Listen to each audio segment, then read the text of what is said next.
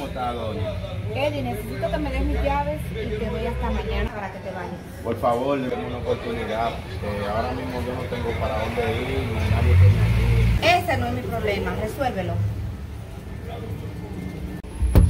librando de enfermedad, Señor. Buscan un hogar para vivir, Señor.